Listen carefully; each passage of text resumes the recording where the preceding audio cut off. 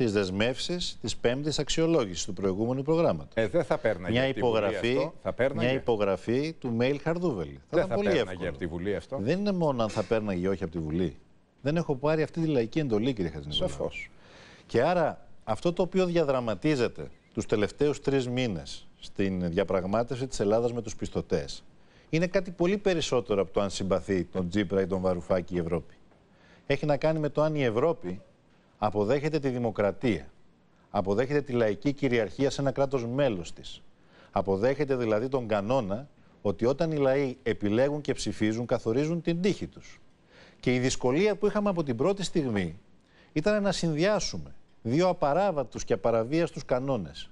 Τον κανόνα της δημοκρατίας και της λαϊκής κυριαρχίας, διότι ψήφισε ο ελληνικός λαός, με τους κανόνες και τις δεσμεύσεις της Ευρωζώνης, τους ευρωπαϊκούς κανόνες.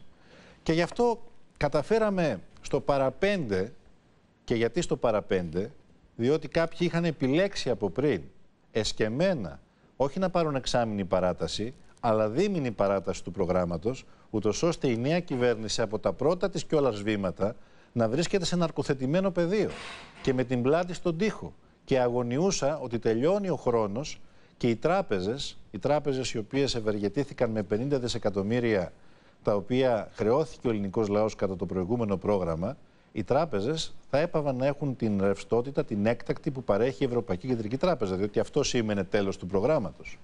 Και μάλιστα θα ήθελα να σας πω ότι αυτό το ναρκοθετημένο πεδίο το οποίο βρήκαμε... Λέτε ότι σας έστησαν παγίδα οι πολιτικοί σας αντίπαλοι; Είμαι ότι- σαφής. Είμαι σαφής. Ότι ε, Όχι μόνο. προετοίμασαν ε, παγίδα αριστερής παρένθεσης, αυτό λέτε; Κύριε Και Χατζηνικολάου, η δεν υπάρχει ερώτηση είναι αμφιβολία γι' αν αυτό συμβαίνει, βγήκατε από την παγίδα;